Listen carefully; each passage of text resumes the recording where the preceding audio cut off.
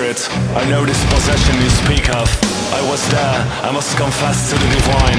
It's true, my dearest. You carry it, the monstrosity.